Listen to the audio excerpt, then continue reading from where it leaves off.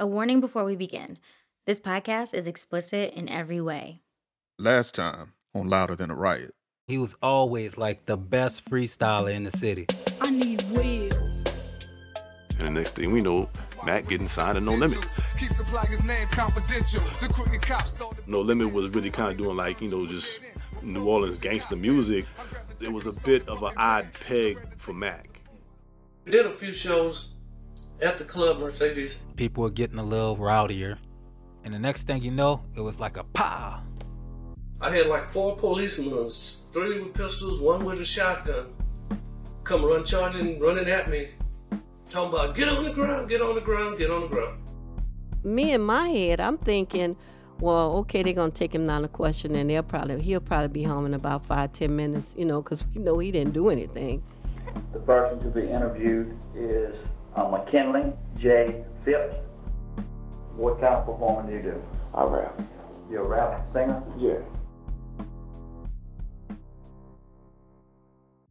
Mac's sitting in a jail cell. He's been charged with the murder of Baron Victor Jr. Even though someone else confessed to shooting Baron that night, Mac was the one headed to court to fight for his freedom. But to understand what Mac was about to be up against next, we got to break down the history of rap lyrics being weaponized, not by rappers dissing each other or talking slick on the mic, but by the criminal justice system policing black creativity. Ice T, who's probably best known today for playing a cop on Law and Order SVU, see, he knows more about this than probably anybody. That's because back in the day, one of his songs triggered law enforcement all across the country. Yep, Cop Killer from Body Count, the metal band that Ice T started fronting in the early 90s. And man, in 1992, the backlash over this song about one man's revenge fantasy to kill corrupt police officers, and it was huge. Both President George H.W. Bush and Vice President Dan Quayle condemned News headlines were blowing up all over the place, questioning if rap was out of control. Never mind the fact that this song was unmistakably heavy metal. Yeah, just the fact that Body Count's lead singer was a known rapper, that was enough.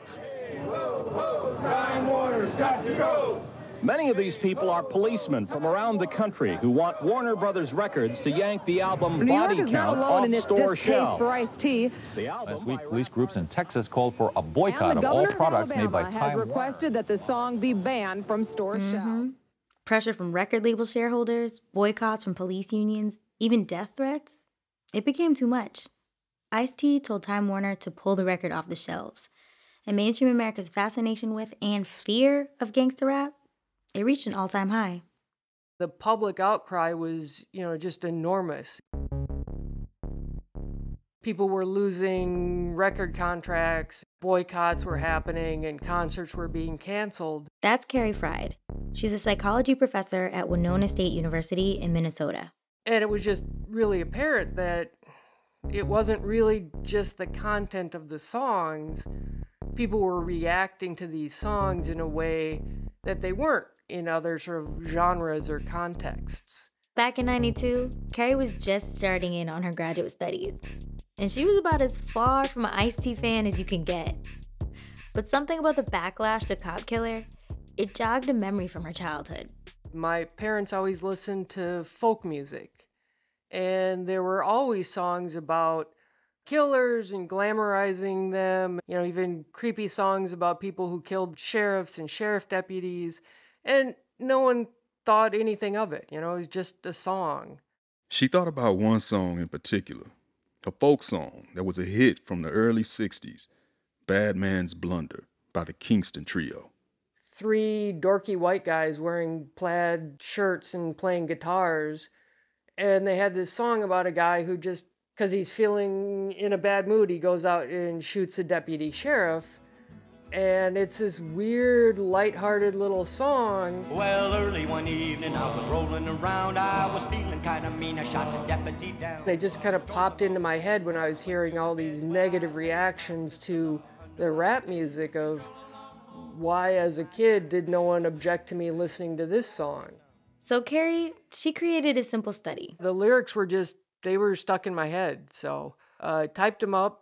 Early one evening, I was strolling along. I was feeling kind of mean. I shot a deputy down. Stroll along home. I went to bed. I laid my pistol up under my head. And then, honestly, I Xeroxed the thing, probably on departmental budget I wasn't supposed to. On half of the pages, Carrie wrote, This is a rap song. On the other half, This is a country song. And the next page, I just had a series of questions. Is this song offensive? You know, should we ban this kind of song? Uh, would you let your kids listen to this kind of song? Does this kind of song pose a danger to society? Bang, you're dead. When subjects thought the song was a rap song, or when they associated it with a black artist, they were significantly more likely to say this poses a danger. You know, we should uh, ban these kinds of songs. I don't want my kids listening to it. If you said it was a country song or they were associated with a white artist, by and large, people didn't have a problem with it. I'm Rodney Carmichael. I'm Sidney Madden. From NPR Music, this is Louder Than a Riot, where we trace the collision of rhyme and punishment in America. In this episode, we look at a phenomenon that's become common practice in courtrooms all over the country the use of rap lyrics as state's evidence to convict the artist of crimes. And for Mac, it becomes the ultimate irony when his imagination leads to his incarceration. For me, it was just like, damn, I've lived my whole life trying to stay out of jail so I can pursue my dreams, and here it is, my dream was being used against me in court.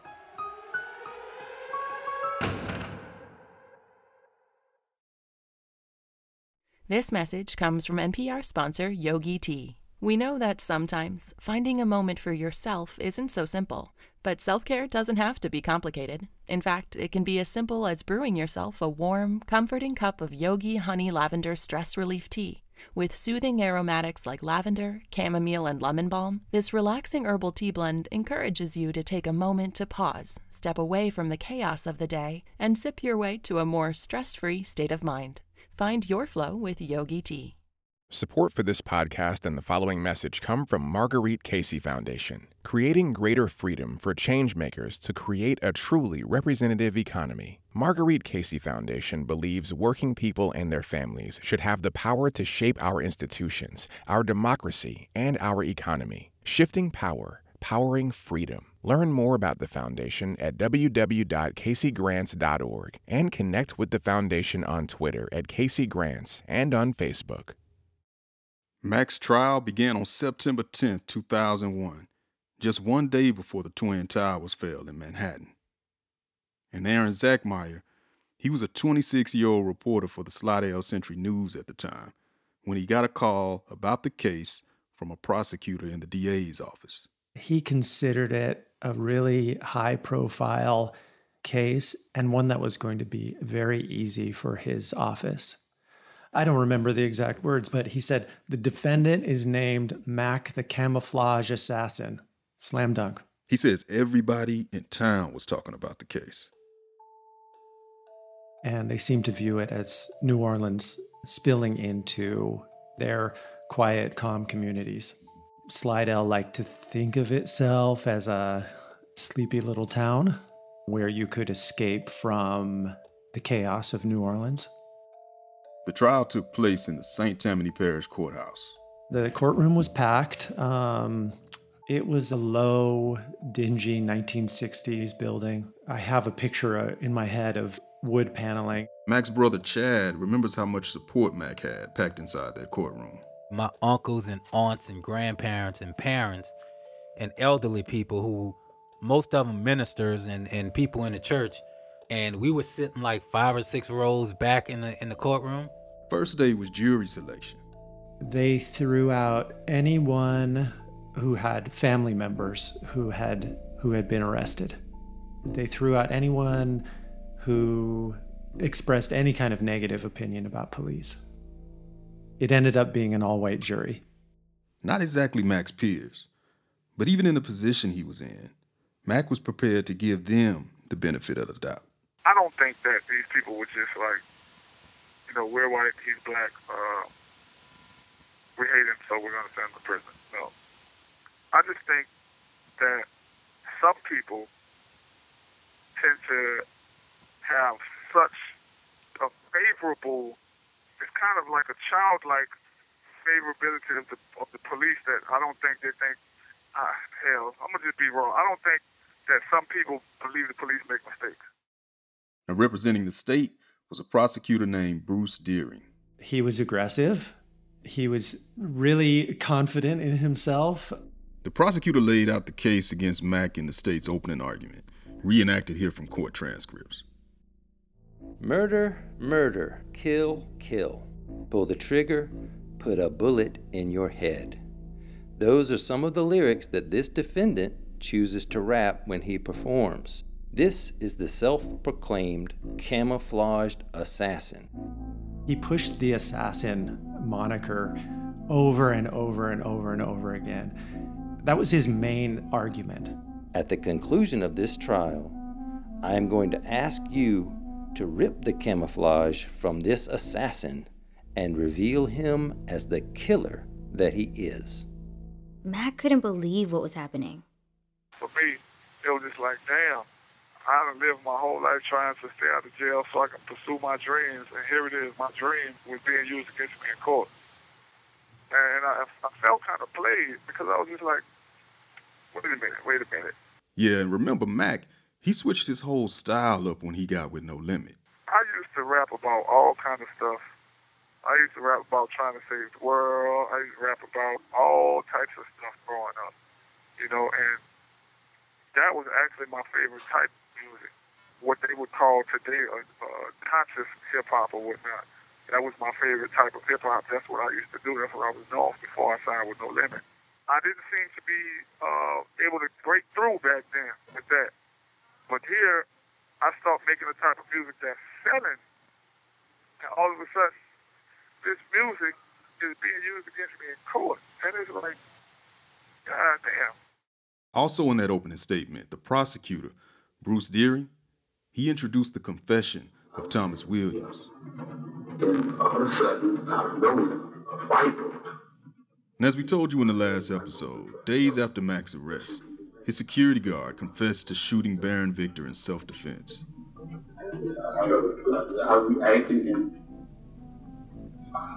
I reacted and fired. But the prosecutor argued that Thomas Williams was a career criminal and unreliable. He was a felon, so he couldn't be trusted. They said that he was um, taking the fall for Mac, which seemed strange to everyone. Why would anyone do that? We reached out to prosecutor Bruce Deering for an interview, but he declined. Now, key to the state's case was the testimony of two eyewitnesses. The first witness the state called was Nathaniel Tillison, cousin of Baron Victor Jr. Nathaniel testified that on the night of the shooting, he and his cousin got to Club Mercedes around 11 p.m. They played some pool, then started dancing when a fight broke out. Baron was in the middle of it when, according to Nathaniel, Mac came from the side and shot his cousin in the shoulder. How do you know it was the defendant that did that? The prosecutor asked. Because I looked dead in his eyes to see him, Nathaniel said. The second eyewitness key to the case against Mac was Yulon James. And she's the young nursing student who had administered CPR to Baron on the night of this shooting. Couldn't forget Yulon because she was hugely pregnant and she was terrified up on the stand. At the time of the trial, Yulon was 25 years old. She'd been at Club Mercedes that night because her boyfriend was a promoter of the show. He'd been working with Mac. She knew Mac too, which made it all the more damning when she told the jury that when the fight broke out, she glanced up and saw Mac in the crowd. Here's a reenactment from the transcript, starting with Assistant DA Bruce Deering. Could you tell us anything that you would recognize as being perhaps significant? Yeah, I seen a gun on him. And did you see anything come out of that gun? Sparks. Pregnant, uh, with a tiny voice, seemingly being led by the prosecutor. I don't think she was doing a good enough job for his taste. So he really seemed to be coaxing her into answering questions the way he wanted them answered. So, with no murder weapon and no physical evidence, the crux of the state's argument was about his lyrics. I think they leaned on on the stage name, the Mac the Camouflage Assassin, because it was so easy. And I imagine they thought that it was an easy way to scare the jury, to turn a person into a into a monster. He did a good job. Mac's defense tried to counteract the prosecution's attacks. A lot of Mac's defense was based on who he was as a person. He hadn't been in trouble with the law. His lawyer said that that he um, that he often read poetry in cafes. That seemed like laying it on a little thick. As crazy as this may sound, I tried to emotionally detach myself from the trial. So when I was sitting in trial, I was in attorney mode. I was like actually sitting there listening and whispering to my lawyer the things I want him to ask him next. But in the end, Mac's lawyer never called one single witness to the stand during the trial. He was like, listen, uh, our strongest piece of evidence is the videotape confession, and the prosecutor has already presented it. And he was like, so the jury has already heard our strongest piece of evidence. He said, so at this point, all you can do is take away from it. Yeah, Mac's lawyer said the worst thing that could happen is if they call witnesses whose stories don't line up with the confession. He said, because if we put witnesses up there and they don't line up with uh, what this guy is saying on the videotape confession, then we blow the case. And he thought that, that was the right strategy. He thought that I was going to get a non-guilty verdict without presenting any witnesses. Mac's lawyer presented his closing argument. I'm going to quote from it here. The state's theory is akin to Frank Sinatra shooting an audience member in a Vegas nightclub. It makes no sense. Shoot and kill someone in front of his mother? That is their theory. Meanwhile, the state did everything they could to make Mac look as gangsta as possible. In his closing argument, Bruce Deering leaned back into Mac's lyrics again. This defendant is the same man whose message, again, is murder, murder, kill, kill. You F with me, you get a bullet in your brain. Mac's lawyers object and try to argue for a mistrial when the state uses his lyrics. They get denied. You don't have to be a genius to figure out that 1 plus 1 equals 2. As the jury weighed the evidence, Mac's family waited. Uh, there were lots of family members singing religious songs, uh, embracing each other, crying. It was very emotional. Remember, Mac was charged with second degree murder, but the judge gave the jury the option to convict on a lesser charge of manslaughter if the crime was, quote, committed in sudden passion or heat of blood. Inside, the jury deliberated until close to midnight. They had to weigh the evidence the state's eyewitnesses and Mac's lyrics on one hand, versus Mac having no criminal record and another man confessing to the crime on the other. When the jury came back, the verdict was guilty of manslaughter. I was just numb. I was crying like I, I don't think I ever cried. That, I don't think I ever cried like that in my life. I just dropped my head, tears flowing down my eyes. It's like I was a kid again. The jury count was 10 to 2. Now, usually every juror needs to agree on a guilty verdict. But in 2001, Louisiana was one of only two states left in the country where jury verdicts did not have to be unanimous. What went through your mind when you heard the verdict being read? Um, disbelief. I was angry because I shouted out in the court, uh, My son didn't do this. I kept screaming, My son didn't do this. I couldn't believe it. I couldn't. I couldn't believe it, but they didn't know Max, so you know, you almost want to shake the head and tell them, you know, he's not really like that. But you know, how can you change people's perspective of somebody when they're only going by what they hear? I was like, oh, maybe he'll give me ten years, maybe. When it came time to sentence him, the judge said, after reviewing all the sentencing guidelines, I sentenced the defendant to 30 years hard labor. Shit, that man said 30 years hard labor. My mouth just flew wide open like, wow. I was 24 years old at the time.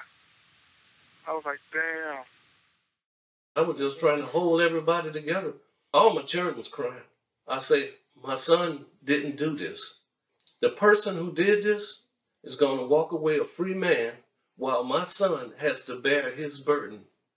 You give somebody who don't have no police record 30 years? I couldn't figure that out. I, I definitely couldn't figure that out. Here's Mac's brother, Chad, again. The whole thing, looking back at it, was a sham trial from beginning to end. I was young at the time. I didn't know much about the courtroom. I thought there was actually justice in the courtroom. And if you're not guilty, they set you free. Because cause in my mind at that time, I thought justice will prevail. I was sadly mistaken. I couldn't believe it. And I went back to the jail when they brought me back. And I was just angry, man. I was angry with God more than anything. I was angry. I was like, dude, how could you do this to me? And I think that night I didn't believe in anything. I didn't believe in people no more. I didn't believe in the system anymore. I didn't believe in nothing. Everything was just dark. And I remember hearing the same song that uh, I heard in the squad car on my way to the court. The same song was playing on the radio, and that was uh, "Lifetime" by uh, Maxwell.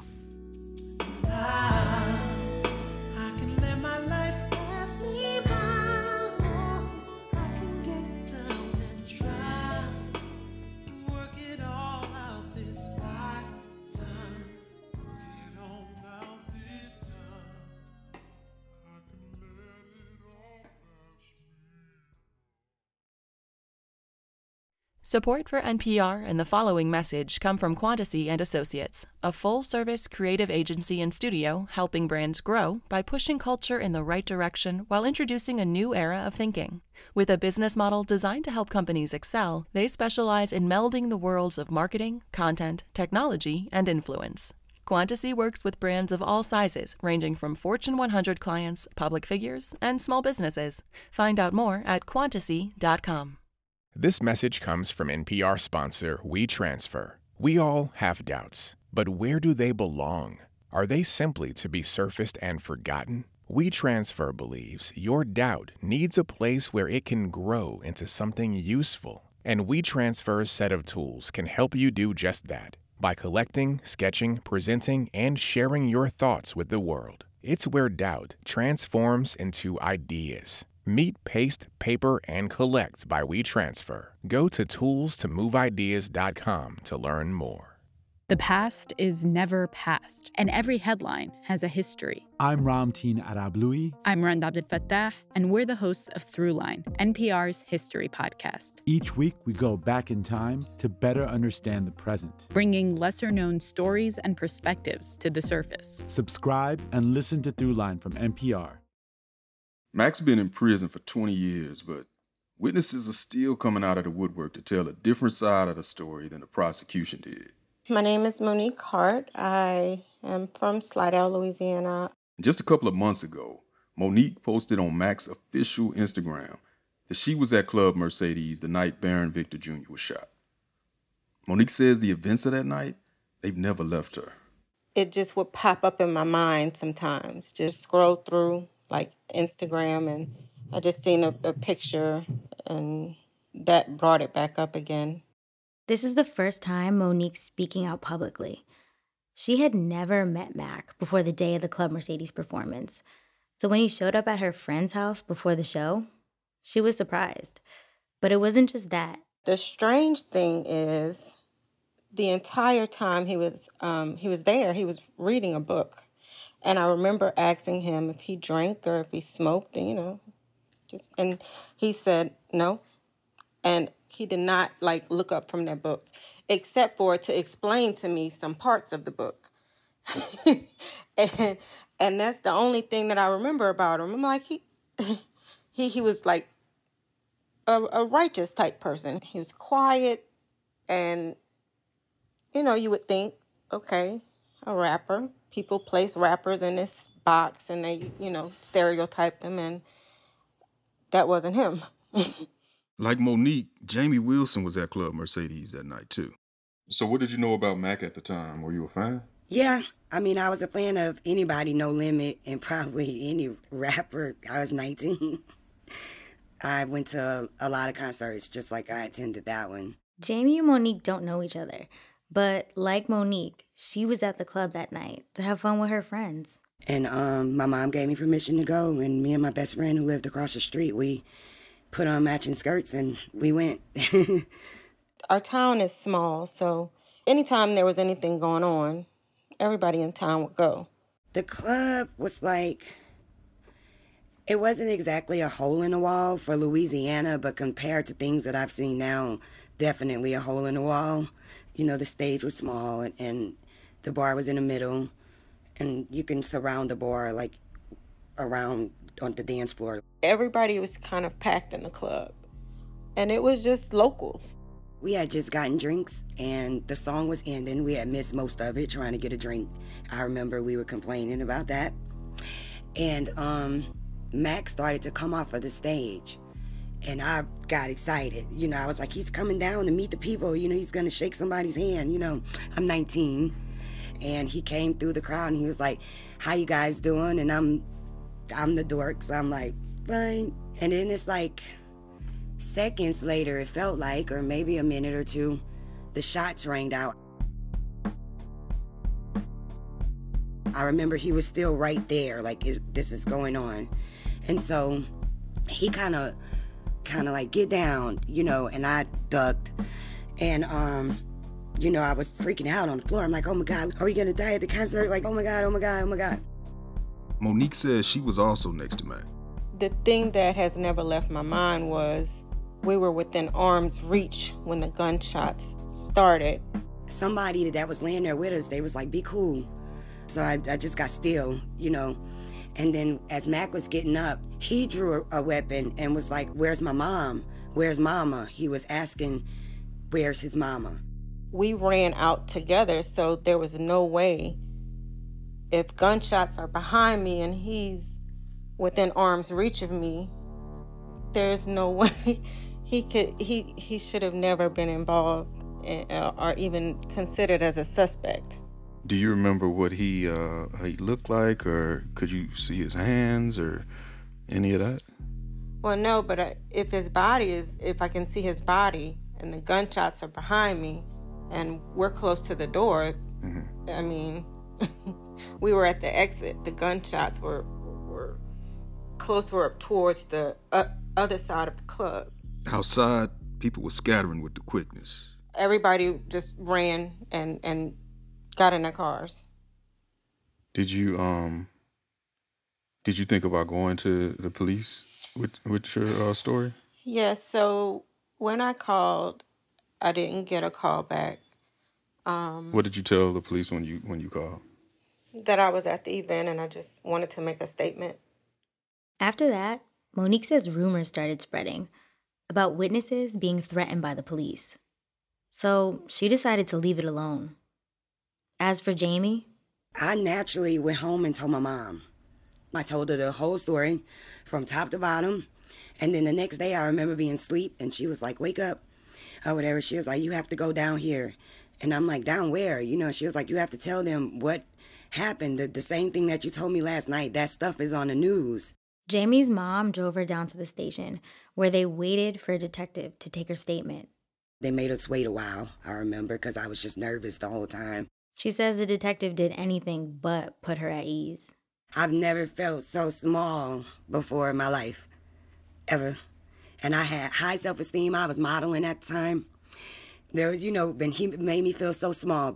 I was like, I'm telling the truth. And I, I, I remember I kept turning to my mom. I was like, Mom, you know I'm telling the truth. I told you the same thing that night. I, I remember telling her I didn't want to be there. I think he called me a liar at one point. I know he used liar or you lied or something to that nature. And from there, it just made my heart flutter. And then I remember us both at one point feeling disrespected. And that's when she finally said what I wanted her to say let's go. It's like he was upset that we existed that that there was someone that is saying no to everything that they're saying. You know, it's like you can tell that they just they didn't want to listen. They just didn't want to hear. Jamie didn't give up though. She reached out to Mac's lawyer, said she'd be willing to testify. And that's when things really started going left. She started to get pulled over constantly by the police. They used to search my car and stuff, and I'm like, what are you? I'm 19 years old. I'm in school. What are you doing? Like, one cop stayed on her. It wasn't until he pulled me over for what is now about the fourth, fifth, or maybe sixth time. And when he was letting me go, he said, um, you wouldn't be getting pulled over if you would just mind your business. And I was like, what are you talking about?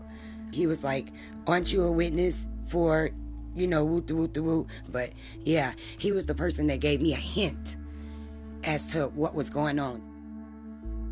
I was present every court date. I heard like um, a lot of the back and forth about his music and the lyrics in his music, and but um, I was never ever to take the um, stand. What What did you? So man, you sat through the whole trial. What did you think about how it was going? I was horrible. I, we walked out a lot of times. Why? I cried a lot of times, just being young and just know right from wrong. And then you know, it was just I was still young, so wrong was so wrong to me. You know, it's like, and I it, it was breaking my heart. I wonder a lot, you know, about the individuals who know because I, I know that the prosecutors i know that a lot of them know deep down in their heart. I, even the jurors i feel like it, you, you, you, your conscience has to talk to you. So i question if they believe in karma if they believe in god. Do you do you have a son? Do you have a, a husband? How would you feel if this was your husband or your child? I often just question what happens to people like that you know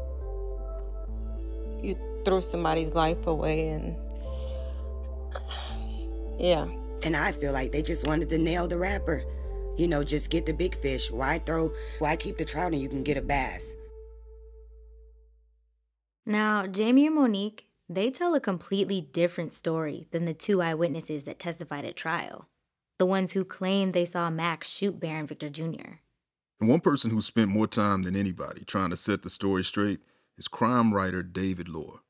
You've been hearing his recorded interviews with Mac throughout this episode. David even tracked down Yulon James, the young woman who was pregnant when she took the stand and said that she was there at the club and saw sparks fly out of Mac's gun. But in 2013, she actually recanted her testimony in a sworn affidavit. And at the time, she said she felt very pressured to to say that she had saw something. She said she initially told the police, "Well, no, you know, I didn't see what happened. Uh, I have no idea." And they're like, "Well, you were right there. You know, you had to have seen something." And they they kept pressuring her and pressuring her, and even uh, right up until trial, uh, they threatened to charge her if she didn't testify. They said, "We'll file an obstruction charge, you know, against you if you don't get up on stand and and say what we want you to say." And at the time, she was pregnant uh, as it was going to trial, and, and she claims the DA told her at that time, he's like, you know, if you don't get up there and, and testify, you're going to have that baby behind bars. Now, we reached out to Yulon James ourselves, and even after all of these years, she told me personally that she's scared to say any more than she's already said. The baby that she was pregnant with when she took the stand back during Mac's trial is a young adult now and she worries about what can happen to people who speak out in Slidell. David started hearing stories like this time and time again. People like Yulon who said they were pressured to cooperate. It was just kind of a crazy thing because if you look at all the different people in this case that they wanted to testify, almost every single one of them claims they were threatened with an obstruction charge uh, if they didn't get up on the stand or, or didn't make a statement that the DA wanted them to make you know taking taking these individually you, you don't think a lot of them because you know a lot of people will will claim something. But you know when you look at this many people telling you the exact same thing people who don't know each other who don't even communicate with each other anymore you know there, there's something to it. The more david learned about mac's case the more he started to question mac's guilt. Let's run it down. Mac had no criminal history and there was no physical evidence linking him to the crime like, take the guns presented at trial. They weren't the murder weapon. And that's including the one Mac said he was carrying at the club and lied to investigators about. And if there were questions about whether or not Mac was guilty, David was going to run them down. My goal from the get go was to methodically go through all of the reports and, and, try to track down and speak with every single person, uh, you know, that the authorities had spoken with. When it came to the state's other eyewitnesses, like the victim's cousin, Nathaniel Tillotson, David says there was a problem. From statement to statement, Nathaniel's versions of events kept changing. All three stories were different, but if you look at the stories, each one, you know, placed Mac more and more as the person uh, responsible for the crime. So, what was really going on? And why all this witness intimidation for one conviction? Well, David started to believe it wasn't unique to Mac's case. And what he discovered was this is how the DA, Walter Reed, and the Sheriff Jack Strain operated all the time what they like to do here is is hold a sledgehammer over your head. You know, the DA will say, "Hey, you know what? Uh, we're going to seek life imprisonment for what you did, or you could admit you're guilty and do ten years." It's like they'll do anything that they can to get a conviction, and everybody knew St. Tammany Parish you know, you get arrested for a crime in St. Tammany Parish uh, and you're poor or you're black, you're screwed.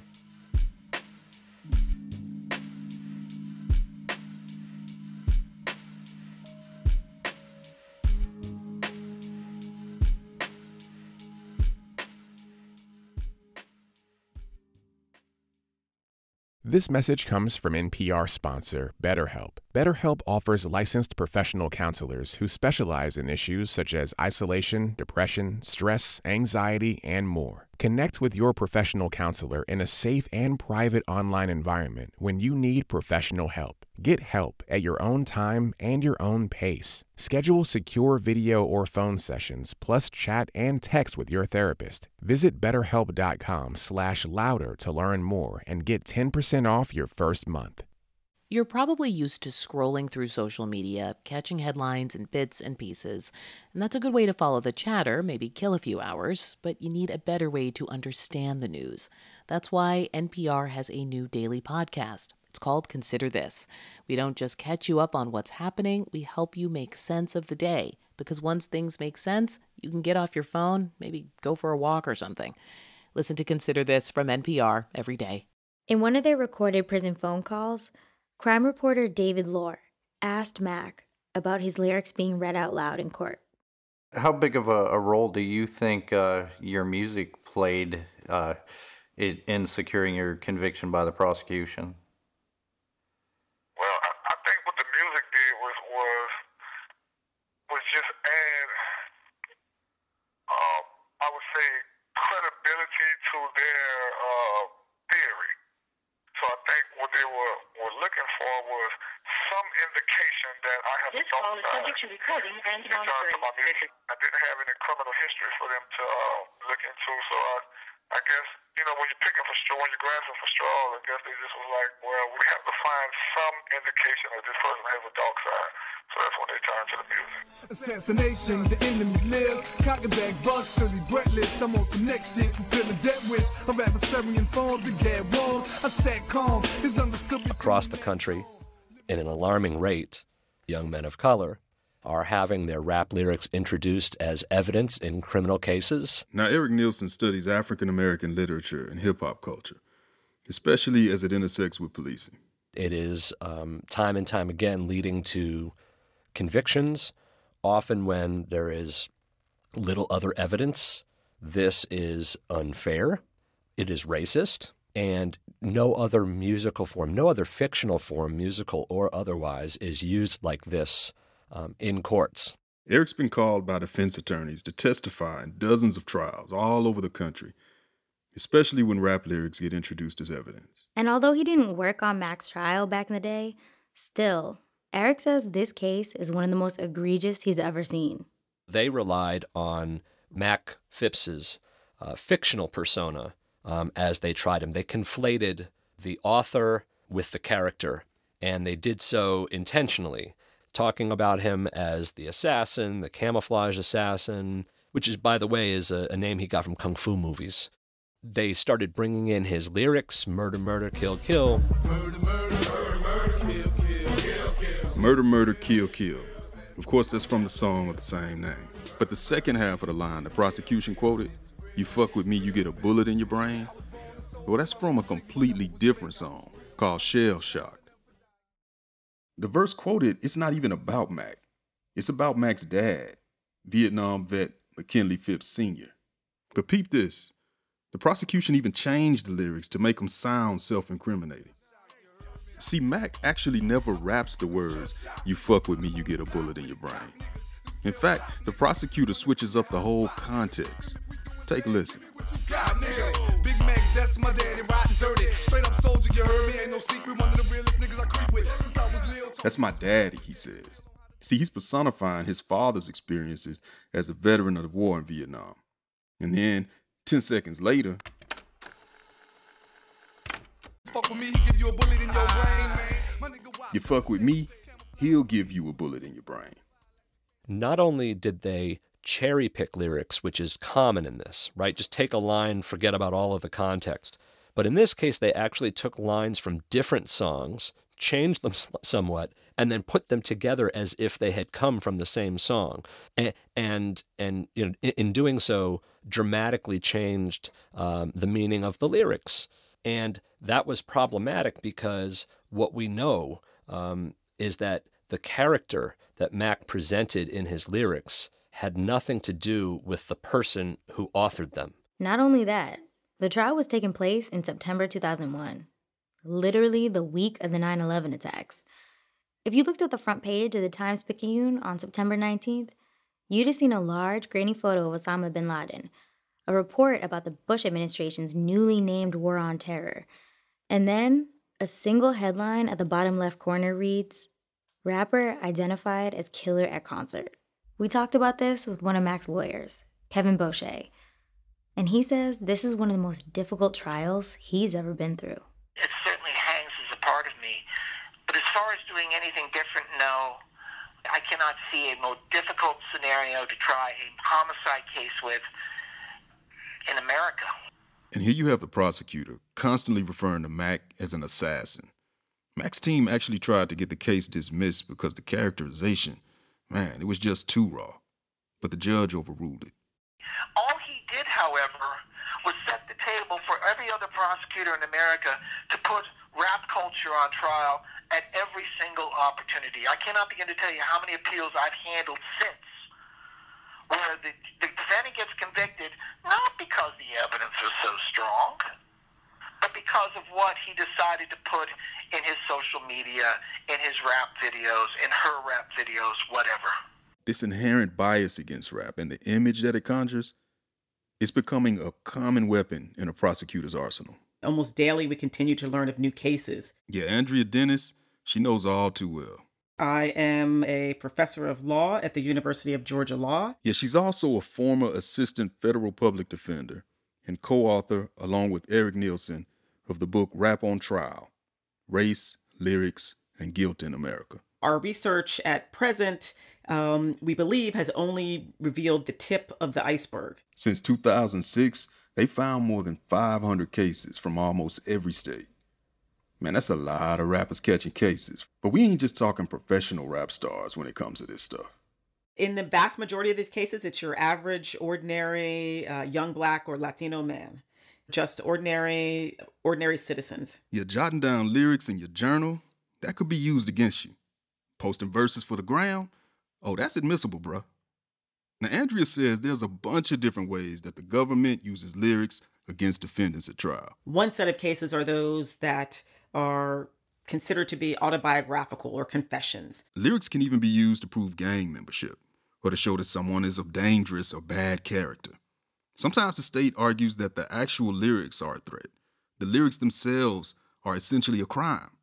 And of course, there are cases like Mac's. in which the government says that the lyrics are indicative of an individual's intent or mindset or motive to commit the crime. Now, this trend, according to Erik Nielson, it's not disappearing anytime soon.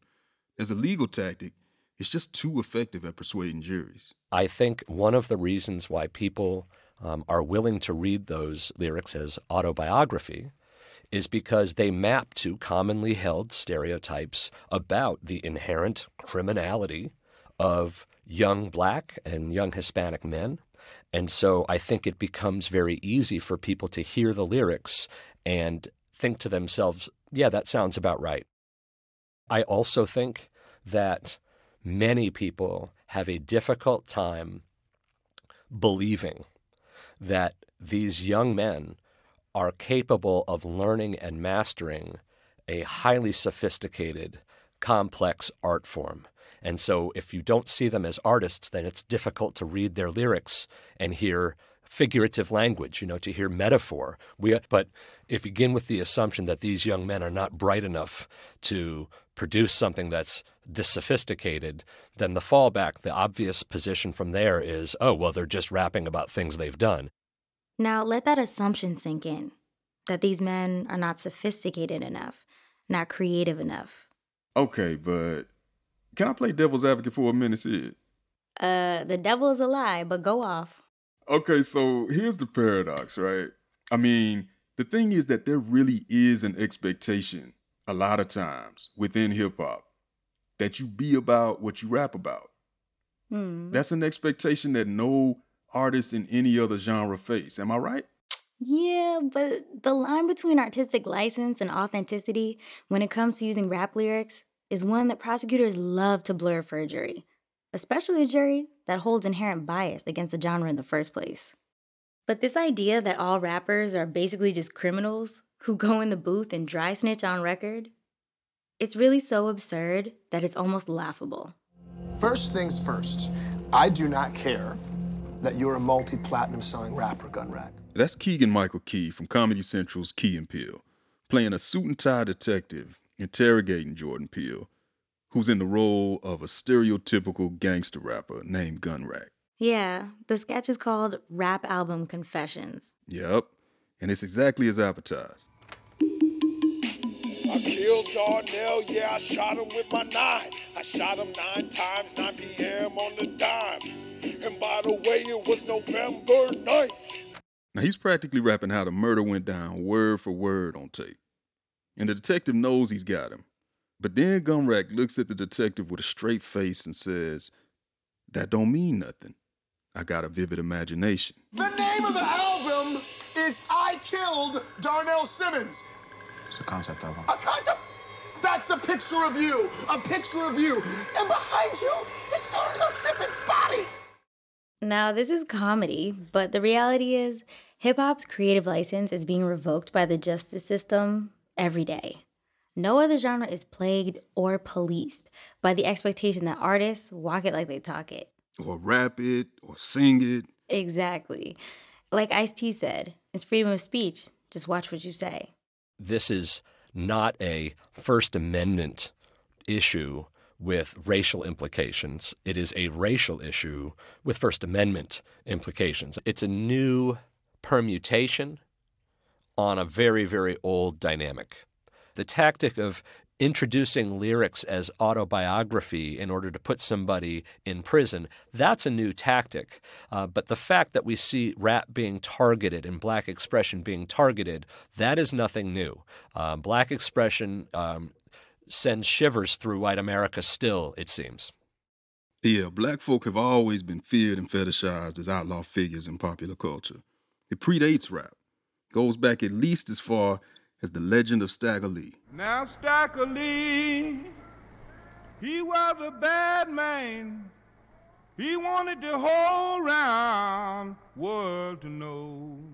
Yeah, Stagger Lee, the original thug of American folklore, long before Tupac got it tatted across his torso. Now Stagger Lee, Lord and Billy Lion. And as the story goes, Stagger Lee Shelton was a St. Louis scalawag who murdered a man in 1895 for snatching his Stetson hat. He said, Stagger Lee, Stagger Lee, please don't take my life. Says I got two little babies and a darling loving wife. He's a bad man, oh cruel Stagger Lee. Eventually he died in prison. But mythologized in song, man, he became the trickster god of the 20th century. In the song Stagger Lee would end up being recorded over 400 times by folk and blues artists.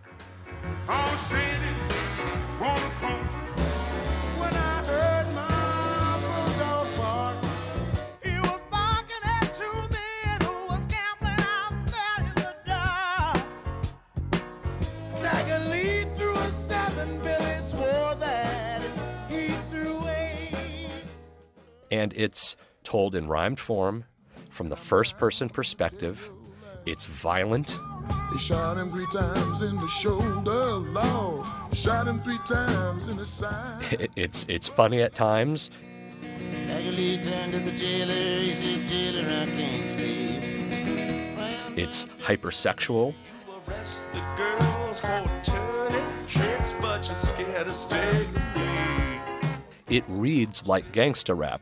I said, say, motherfucker, do you know who I am? He said, hell no, nigga. I don't give a goddamn.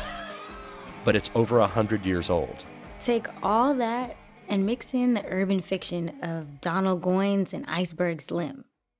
The urban underworld where hustlers and pimps reign supreme, and so that that's another artistic tradition that rappers are are drawing from. Pull in some inspiration from the black arts movement on one end and blaxploitation films on the other. The idea is to say, you know, what you're seeing here is really just, um, you know, in some cases, centuries um, of evolution of an art form. And so you need to start from that perspective and understand that even if individual rappers can't tell you all of the antecedents of their art, they exist. And it's a very, very rich, complex tradition that they're drawing from. A rich, complex tradition that hip hop is adding to that's now used in court against them. Yeah, and this is the tradition that Mac stepped into in No Limit. And even as he leaned into those gangster tropes, there was still a spirit of resistance in his music. You hear it a bit in his first No Limit album, but man, it really starts to cook on the follow up, World War III. Take the song Battle Cry. I'm ready, cuz. Why do we live Check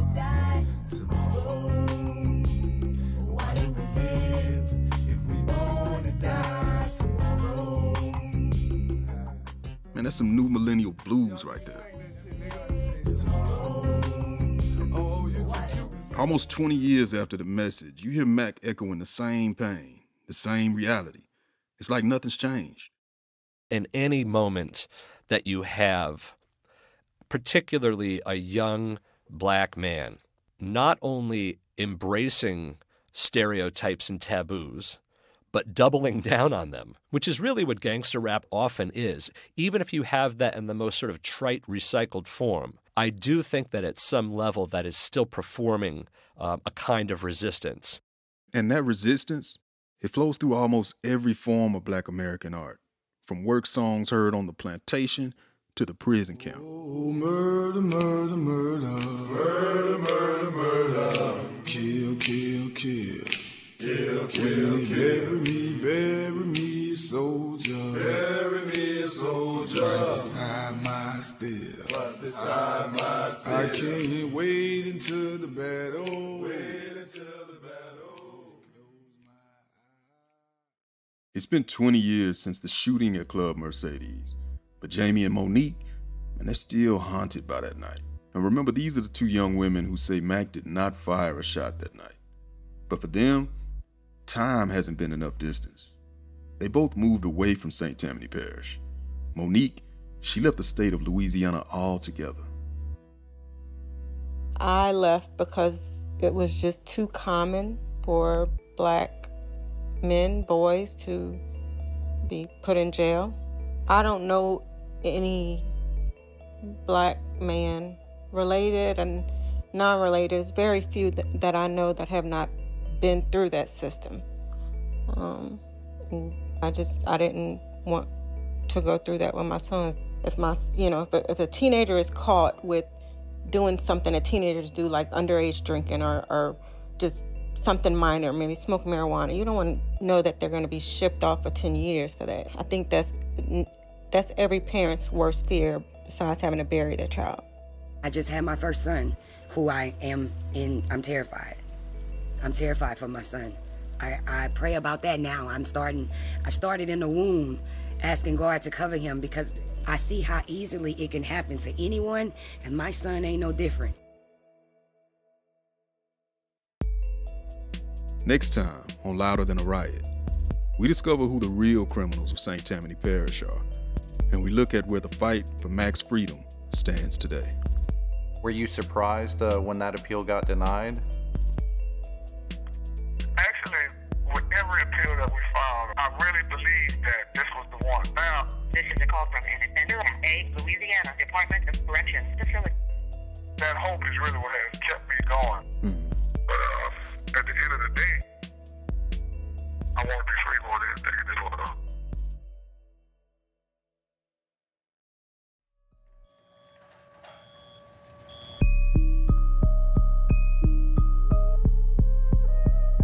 This episode was written by Matt Ozug, Rodney, and me, Sidney Madden. Michael May edited this one. It was produced by Matt Ozug and Dustin DeSoto. with help from Adelina Lancianese, Sam Leeds, and Babette Thomas. Our engineer is Josh Newell, Senior supervising producers are Rachel Neal and Nigel Eaton. and shout out to the bigwigs Steve Nelson, Lauren Onkey, and Anya Grundmann. Original music by Kassa Overall. Dope artist, y'all definitely should check him out. Additional scoring by Ramtin Arablouei. Appreciate you, folk. Our digital editor is Jacob Gans. Our fact checker is Will Chase. And thanks to everybody who lent their time and expertise on this one, especially Andrea Dennis and Erik Nielson. They wrote the book on this. Hit us up on Twitter. We're at Louder Than a Riot. Rate and review us on Apple Podcasts. And to follow along with the music you heard in this episode, check out the Louder Than a Riot playlist on Apple Music and Spotify now. And if you want to email us, it's louder at npr.org.